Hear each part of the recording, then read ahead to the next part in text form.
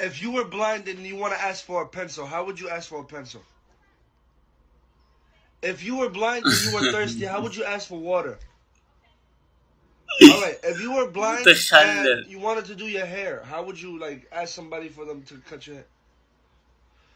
All right. If you were blind and you went to a restaurant, how would you order your food? All right. If you were blind and you went in a taxi, how would you tell them to take you to your destination?